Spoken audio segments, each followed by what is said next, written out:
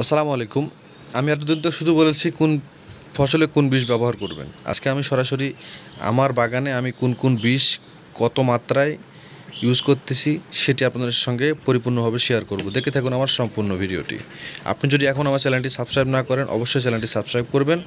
চলুন, আম বাগানে কত লিটার পানিতে কত মিলি বিষ স্প্রে করতেছি সেটি আপনাদের সঙ্গে শেয়ার করি।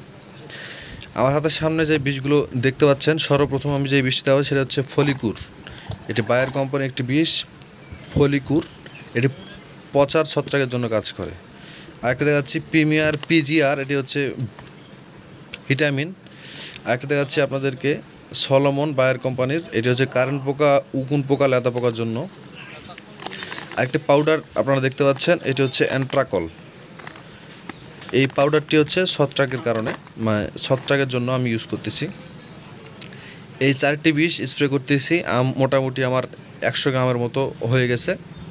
আমি এই চারটি বিষে এক হাজার লিটার পানি করব। যেমন সলমন এক এক লিটার, এটা এক লিটার পানিতে এক মিলি করে ইউজ করতেছি। এর সঙ্গে ভিটামিন আছে এক লিটার, এটি এক- মানে এক লিটার পানিতে এক মিলি করে ইউজ করতেছি।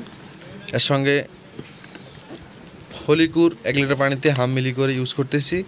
আর অ্যান্ট্রাকল যেটা পাউডার ছত্রাকনাশক, সেটি আমি এক লিটার পানিতে এক গ্রাম করে ইউজ করতেছি।